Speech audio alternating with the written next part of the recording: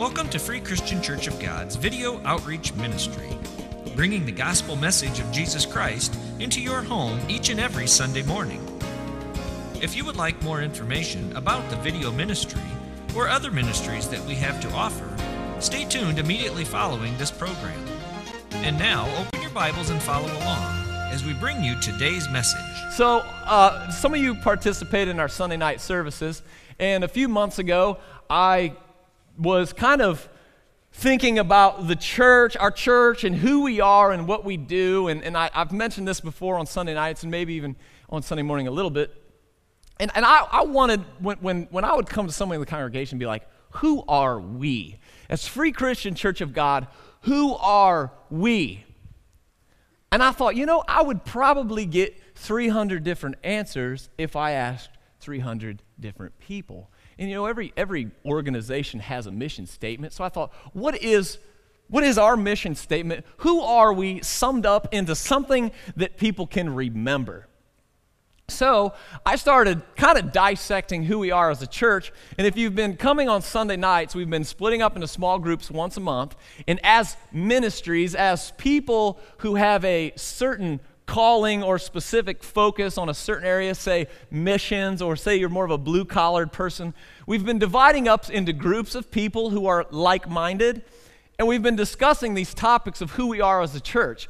And I just want to walk you through, um, I think there's six of them, six, these six things, and I'm going to focus on one of them today. The other ones we've started to cover. Uh, but this one, I, I really wanted to preach this on a Sunday morning. So the first one, we as Free Christian Church of God, we will preach God's word.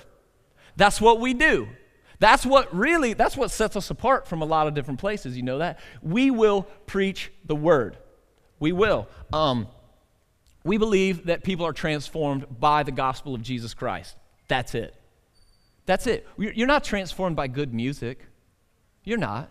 You're not. I'll, I'll, I'll, say that. You're transformed by the gospel. But when, when we say this, we will preach the gospel, that goes beyond me and my dad. When, when you say we as free Christian preach the gospel, that means you preach it too. That's who we are. That's who we are. Number two, we are the proof of love. We'll serve anybody and everybody. Even if we disagree with their lifestyle, we'll serve them. that's what Jesus did, right? That's part of who we are as Free Christian Church of God. Number three, we believe, some of most of us believe in giving until it helps giving until it helps, understanding that we are stewards of God's things, not owners. It's not mine. None of it's mine. Uh, number four, this is what I'm preaching on today. We believe we are better together.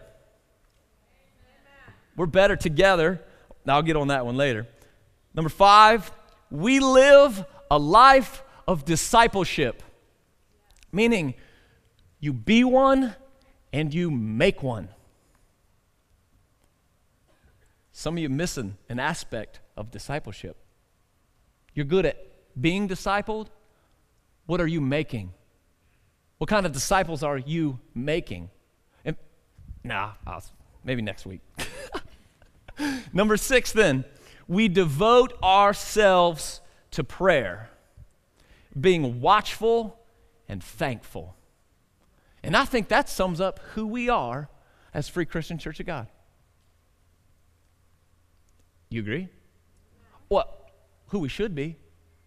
It's who we should be. It's Free Christian Church of God. So today, we believe we are better together because it's more than about me, it's more than about you, it is about His kingdom. It's about His kingdom. So we live in this day and age where independence is praised. We celebrate our independence. We teach our kids to be independent and not to lean on anyone. And I'm not saying that independence is a bad thing, but sometimes we take it to the extreme and we allow it to leak into parts of our Christian walk, and we think that we can exist independent from the church. So I want to ask you how many of you have recently prayed, God, what do you have planned for me? Mostly the young people, some of the not some of the people going through life transitions. God, what do you have planned for me? I ask that every day because I'm like, I don't have no plans. I just go with it. God, what do you have planned for me? What did I get from the service? What am I here for? Or even, God, give me the ability to confront this or to do that or to serve here. And, and I want to ask you this question. I want you to pay attention and really be honest with yourself. How many times do we pray for God to make us useful, independent from the church? God, what do you have for me? I know what they got going on, but what, what's, what, how do you pray? God, give me my thing. Give me my thing. And really, aren't we asking for God to kind of set us apart from the body in, in a lot of those requests? What if we ask God, what are we here for? Like, what are we here? What can we do? Are we taking advantage of all the things that God has set before us? Maybe He won't give you the ability to do something because He's given someone else that ability, and you refuse to understand what community is. Yeah, but I want to be this. No, so and so's that. Come alongside them and be who God made you to be. It fits that way. It works that way. So Romans 12, 3 through 8 says, For by the grace given me, I say to every one of you, do not think of yourself more highly than you ought, but rather think of yourself with sober judgment in accordance with the faith God has distributed to each of you. For just as each of us has one body with many members, and these members do not all have the same function, so in Christ we, though many, form one body. Amen? And each member belongs to the others. Whoa. Whoa. We have different gifts according to the grace given to each of us. If your gift is prophesying, then prophesy in accordance with your faith. If it is serving, then serve. If it is teaching, then teach. If it is to encourage, then give encouragement. If it is giving, then give generously. If it is to lead, do it diligently. If it is to show mercy, do it cheerfully. Period. It doesn't say if you feel like it or if you have the time. It doesn't say that. Do it. Just do it. Now, this is an exercise. I did this in youth, and I think it'll be fun because a lot of you are married. So I want you to turn to the person next to you. I want you to look at them. To go ahead. Everybody's participating. Look at them. All right. I want you. I want you to say this phrase to them. All right. This will be easy for some, hard for others. I need you to say this to them. I need you.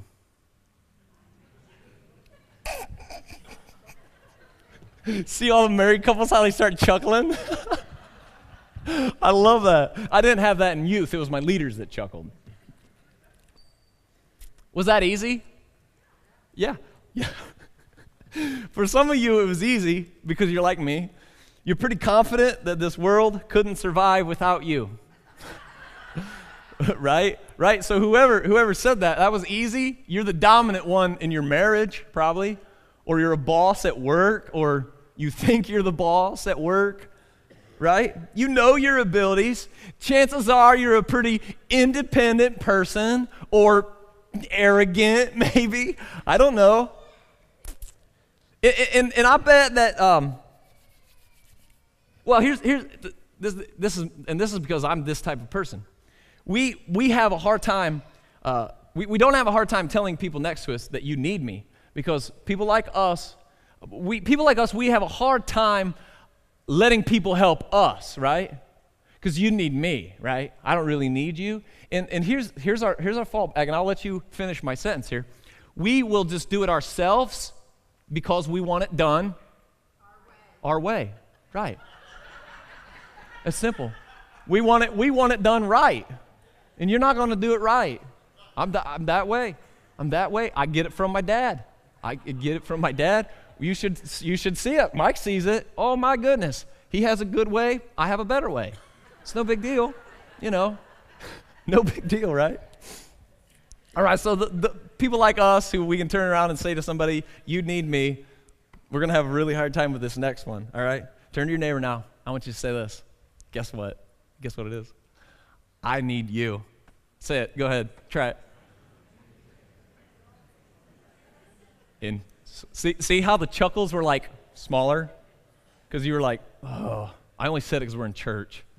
It's the only reason. I could, I could totally survive without you. My, my wife one time, oh, I can't believe I'm going to say this. We, we, was talking about, we was talking about dying. Because, you know, that's what you do when you're married. and uh, she said, well, if, if one of us had to die, Jimmy, I want it to be you.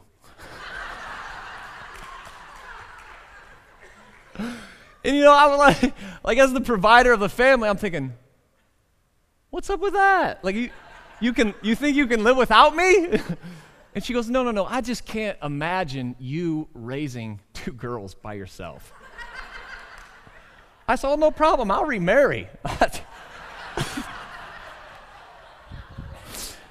you know, you know, you've all had that. If, if so, I went and got life insurance because I, you know, I just didn't know. I just didn't know.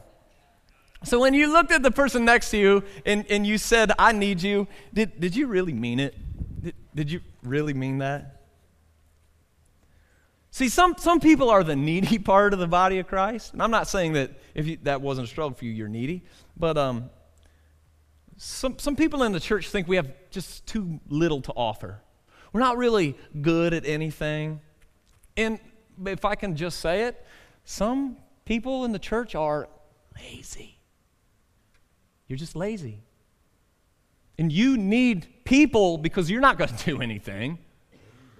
I mean, I, I remember Dad preaching on it uh, uh, before. If everybody in the church served like you,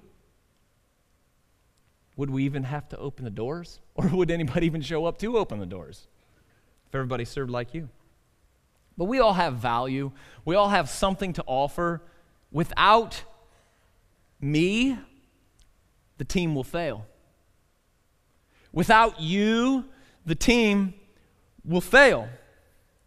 Because here's the thing God's plans are far too big for me. In God's plans, yeah, thanks, Sharon. In God's plans are far too big for you. In God's plans are far too big for us. So, what he does is he fills a community of people with his spirit to accomplish things far beyond what we could ever imagine. Amen? So, how is it some people can completely exist outside of the church without the rest of the body? You don't. So, you, so some of you will leave here today and we won't see from you or hear from you until next Sunday at 10:30. How did you live? I mean, I'm pretty sure, like, I, am not, I'm not into object lessons, and it's a good thing when you're talking about the body of Christ, because if I was going to show how someone is detached from the church, it would be a bloody mess up here. And I'm not going to do that, but you get the picture. If you're the arm and you don't come back and you don't mingle and you don't pray and you don't seek out your brothers and sisters in Christ, you are handicapping the body. So, if you can survive outside of the church without the rest of the body, you're not part of the body. Well, Jimmy, I, you know, you just got to understand, I just kind of do my own thing. No, no, no. It's not about you. It's not about me. It's about His kingdom. Kingdom. Not, not Free Christian Church of God. Kingdom. It's bigger than us, church. Way bigger than us. Hebrews um, 10 24 through 25 says, And let us consider how we may spur one another on toward love and good deeds, not giving up meeting together, as some are in the habit of doing. I lost my spot. Let me read that again. how we may spur one another on toward love and good deeds, not giving up meeting to I didn't really lose my spot, okay? Not giving up meeting together as some are in the habit of doing. It's a habit that you miss church. It's a habit that you don't gather together with other believers and spur one another on. That's a bad habit. But encouraging one another, and all the more as you see the day approaching. There's an ancient proverb that says, when you run alone, you run fast. When you run together, you run far. I got a little video that I want you to watch, just real quick, all right? Just like four minutes, so.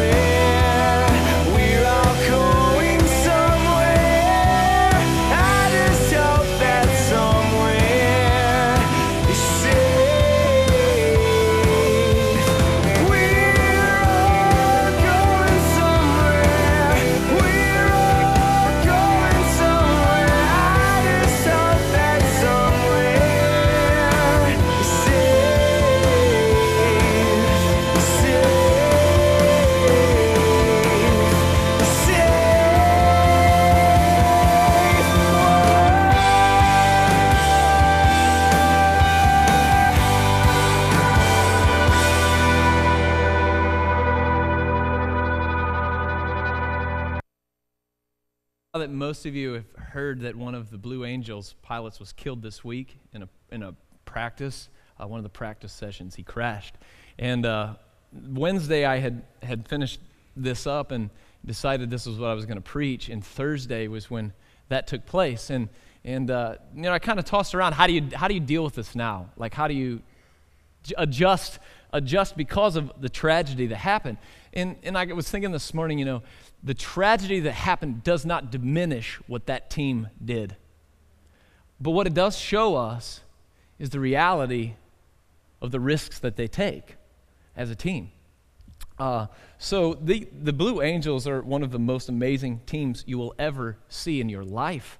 And uh, they're going to continue doing air shows, I read this morning, um, because you don't just quit when things don't go your way, right? But I guarantee you that as precise and dedicated as those boys are and, and the rest of the team that works, they took it up a level after Thursday. I guarantee you, they took it up a level. So the, the Blue Angels are obviously very well trained, very disciplined. At some points in their show, they fly 18 inches apart at up to 450 miles per hour. That's faster than you drive, Lisa. That's crazy. But I was so fascinated by the Blue Angels and their videos that I started to dig a little deeper into the methodology of, of how they make things work. And get this all of the principles of the Blue Angels are biblical principles. Now, I don't think that was on purpose, but that's why it works. That's why it works. They understand what is at stake every single day. Every single day. And here's the thing 18 inches apart at 450 miles per hour. We can't even worship 18 inches apart, right? We said, give me my space. Give me my space for worship. I need to need, look at us. Look at this. Look how spread out you guys are. And that just, I don't know. Think about it.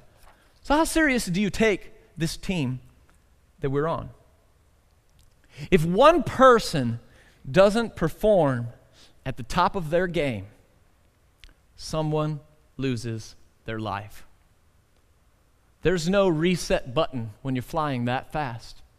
That's what we learned this week. But see, church, that's really no different than us, except for one big thing. And I'm not trying to dismiss it is a tragedy. But when we miss the mark, church, it's someone's eternity. It's someone's eternity. So there's 12, 13 principles that, that I went through, and some of them I'm going to spend a little bit of time on, and other ones we're just going to fly over. But number one, there are over 100 people required to pull off this show, this performance, every week to fly the Blue Angels. No one can slack. So, you, you think your job in the body of Christ is unimportant. Is it? Maybe, maybe to the body of Christ, you're the one who checks the rudder, and no one sees you check the rudder. But if it's not done to the highest level, it will be catastrophic. Absolutely.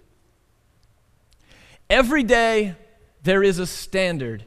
Each and every day, a high standard on every single level of what takes place. If you slack in some areas, you will slack in anything. If you lack in serving, you're going to start to lack in love. If you lack in love, you'll slack in commitment. And guess what? It's going to be hard for someone to call on you when the plane needs examined. If you slack at one thing, one thing, our standard is here on every level, every day. No matter what we do in the kingdom of God, every day, it's all we got to the highest level. Number two, everything is built around a central point. With most things happening at 400 miles an hour, it is critical that everyone on the team has the same central point. If one plane's coming at 400 miles towards another plane at 400 miles an hour, and their central point is 18 inches off, you have tragedy. Church, what is our central point? It is Christ and only Christ. It is not the church of God. It is not worship music. It is Christ. When you come to church, are you coming with Christ as your central point? Or are you coming to get him back to the central point? Because let me tell you why it's so important to come with Christ as your central point, because you might fly into this narthex 18 inches off and run into someone else whose central point was Christ. In everything we do, Christ must be central. We feel like we can come with our minds on our jobs or on money or on our kids or on our work or on sports and still accomplish great things. But, church, we will go nowhere unless we all, all, all means all, and that's all all means, all have Christ as our central point, not just in church, but at home, at work, on your way home from work, all the time. Same central point. Number three, the team is built around the same values. They vote every person in or out on their team, and it must be a unanimous decision. So if one person says, I don't want him on my team, they're out, even if everyone else on the team. Huh, what if we did that in church? All right, Kevin, stand up. Anybody want Kevin? I'm just kidding. We wouldn't do that. Would you come if I said we were going to we're to vote, vote people in and out on our team because, let's be honest, some of you are ineffective. Maybe some of you are holding the team back. And when it comes to, when it comes to what these guys do, it's, they know it's life or death. And if they have an inkling of doubt in even the guy that checks the rudder, they have a huge problem. They have a huge problem. Number four is they sacrifice individual gain for the team's greater good. Oh, here we go. When is the last time you sacrificed something for the team? We sacrifice the kingdom of God far more often than we sacrifice ourselves for the kingdom of God. Right? Hobbies, sports, TV, jobs, money. Do you ever ask yourself when an opportunity is presented, how will this affect the kingdom? Ever ask yourself that? Oh, I hate my job. But how is this going to affect the kingdom? How's this going to affect the kingdom if I, if I, if I quit? Well, how's it going to affect the kingdom if I don't show up to church on Sunday nights? Or Wednesday nights? Or prayer time? How's this going to affect the kingdom that I'm not showing up? I mean, I'm pretty sure if one of the pilots for the Blue Angels missed the morning meeting, they'd have a problem with it. I'm pretty sure they would have a problem with it because of what is at stake. Church, what's at stake for us and others around us? Eternity. Eternity. During the two year assignment that these pilots fly, they brief, eat, sleep, exercise, and relax together the whole two years. Trying to focus on perfecting the thing they do. Every day, they're together. Every day. Number five, I'm not going to spend a lot of time on this one. They represent the team at all times 24 7. Hmm. Do you represent the kingdom? You, you call yourself a believer, you walk into this world, you represent the kingdom of God everywhere you go, even when no one is looking. Even when other church people aren't around, you represent the kingdom of God. Number six, they tap into the strength or the value that every person brings. Every person has a value. If you're not doing something in the kingdom of God, something's not getting done. Something's not getting done. Number seven is they communicate both vertically and horizontally. Now, that's kind of cool. And if you're here on Sunday nights, we talked about the up and the out of the church.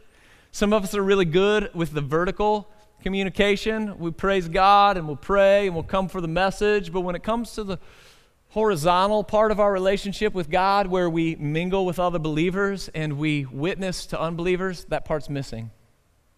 Or some of you are really good at mingling with unbelievers, but your relationship with God isn't really where it needs to be. But in order for this team to function successfully, we all have to communicate both vertically and horizontally.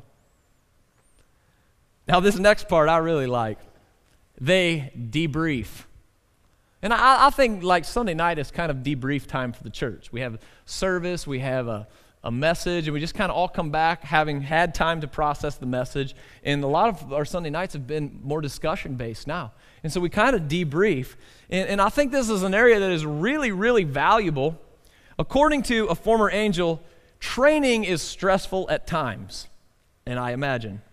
When rough spots are encountered, they recognize the problem, they address them, then they move on. They go around the table, and everyone is allowed to bring up what they call safeties things they're concerned about, things they want to make sure this person knows they need to step it up. I mean, it only makes sense, right?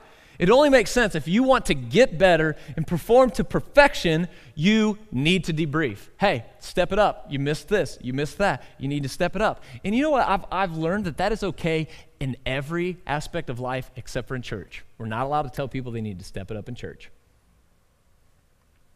Well, you want to play on the worship team? You need to come to church on Wednesday nights. You need to come to church on Sunday nights. Wow. Seriously? Like you get mad at me because I'm asking you to attend church? Because you want to be on the worship team? You want to teach? You want to teach our kids? You need to come to church on Sunday nights. You need to come to church on Wednesday nights because the kids need to see you learning also. Oh, you can't ask people to do that. Are you kidding me? How important is what we do? So here's the thing it only makes sense if we approach people and say, and you know, some people are terrible at it, some people are just rude or mean. But we need, to be, we need to be honest with each other, church. When we see each other slacking, I'm going to pray for you because you're missing something. You're missing something. You're not serving. Some of you aren't serving. You're not serving at all. And this is, this is my, I'm stepping on your toes today, yes. Find somewhere to serve. Okay? We need teachers.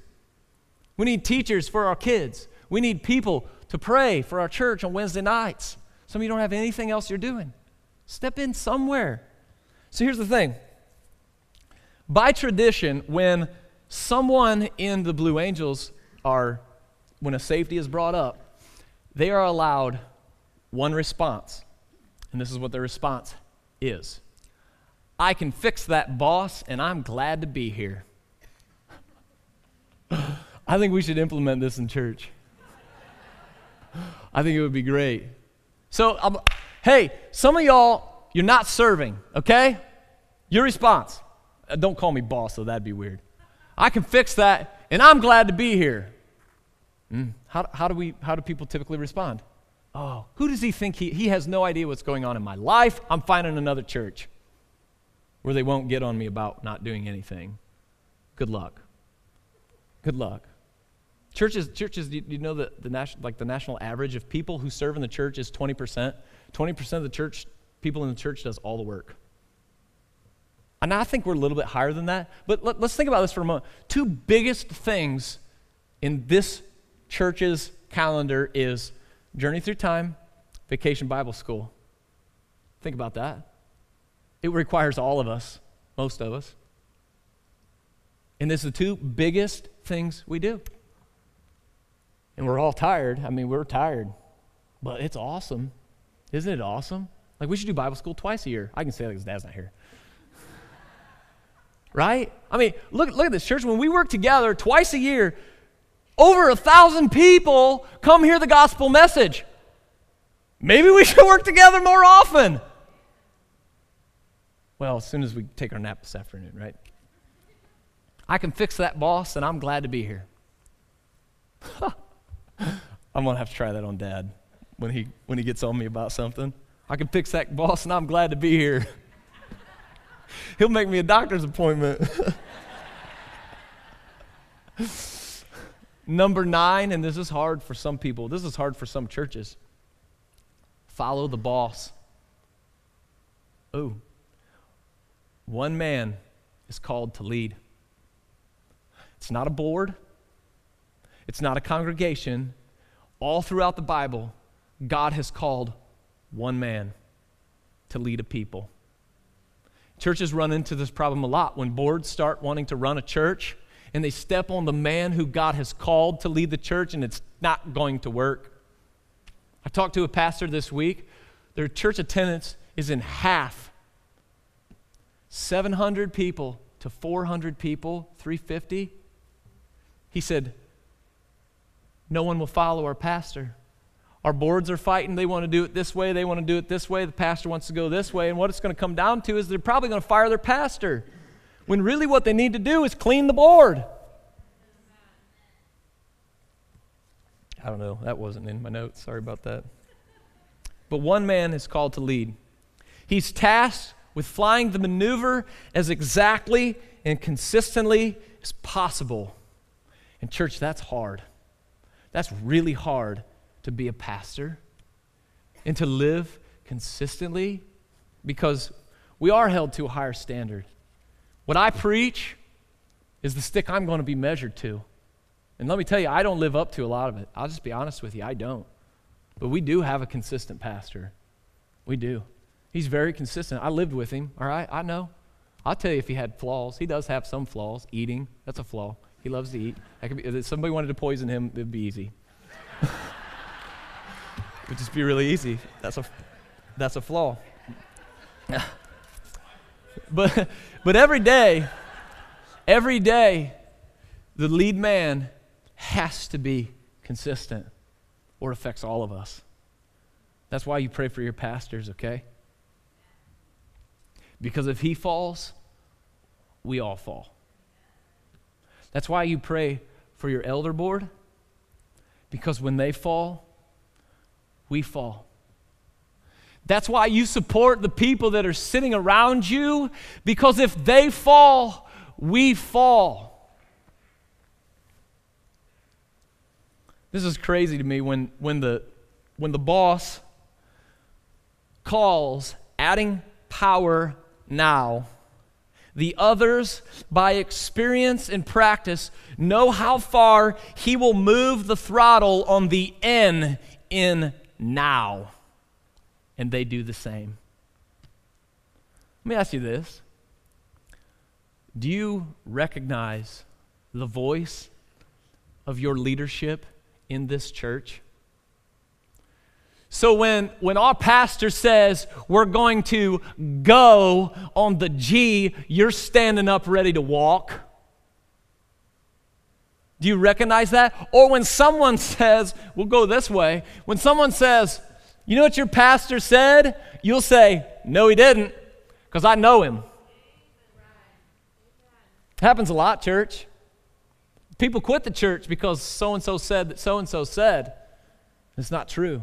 And I just want to ask you to take the time to get to know your pastors. It's, it's worth it for you. So you'll know our characteristics, you'll know our weaknesses, you'll know how to pray for us, but you'll know, you'll know when someone's sowing discord among the brethren. You need to know that.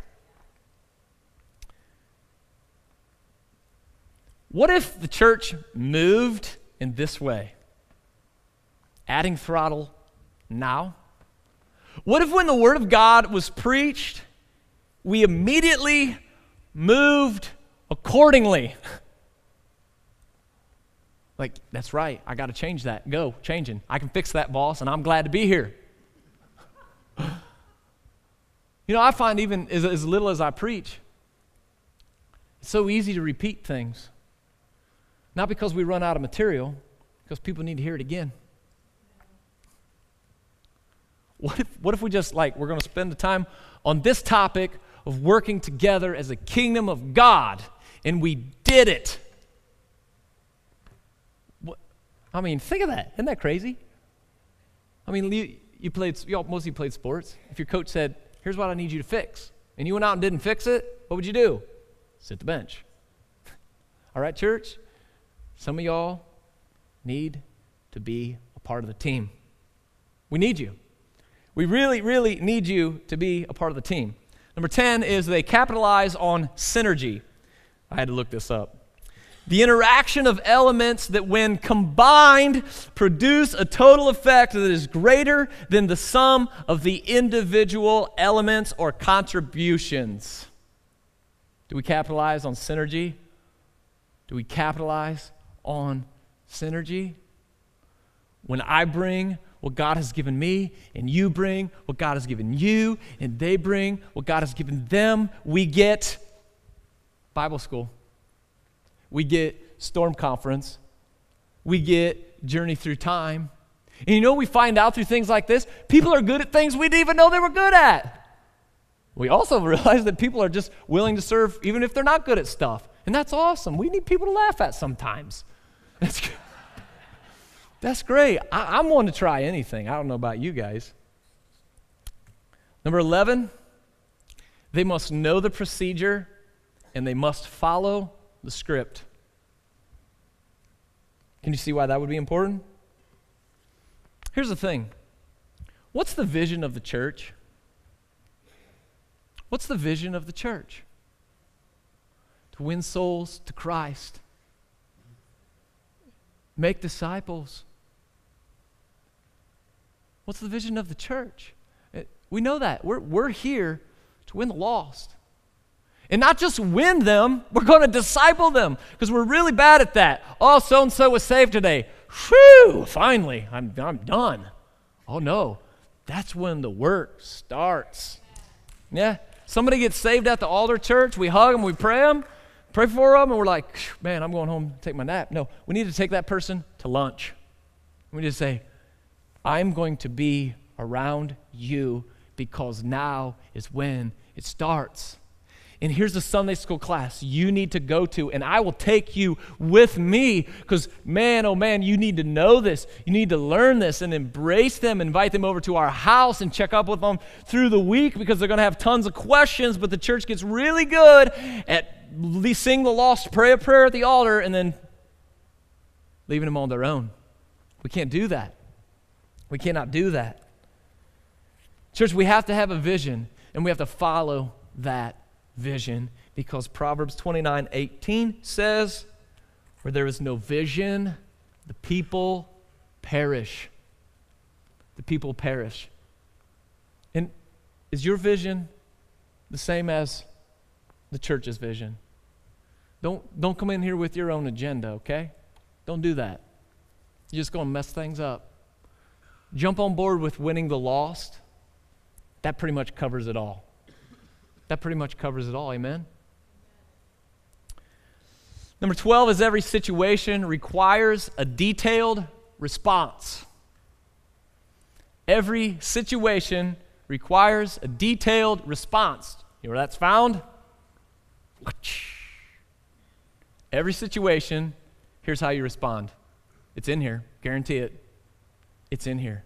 Know the word. That's why Wednesday nights are important. That's why Sunday school is important. That's why Sunday nights are important. It's why summer Bible studies are important. It's why devotions in the morning are important. It is why filling your mind and heart and life with this is important because every situation in life, as a part of the body of the kingdom of God, we must know how to respond in detail. In detail. Number 13 fostering positive attitudes. Man, why do you have attitude problems in the church? Why do we have attitude problems in the church? Here's the thing your attitude equals your altitude. You're only going to fly as high as your attitude will let you.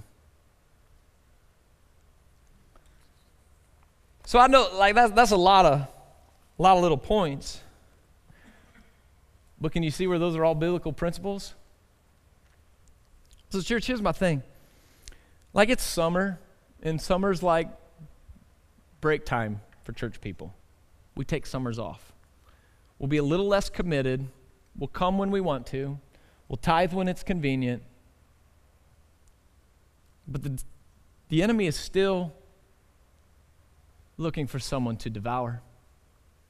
Even when we're taking time off, when we're not participating in a ministry, when we're not giving, when we're not loving, when we're not serving, when we're not in contact with the other believers throughout the week, we're suffering.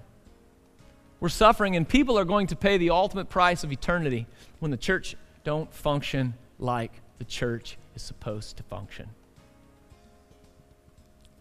We are better together. Thank you for watching today's message from Free Christian Church of God in Continental, Ohio. To find out more information about Free Christian Church of God, or to receive a copy of Reverend James Fry's weekly television program, Your Life, call the church office at area code 419 596 3103 or visit our website at freecog.org and download your copy today.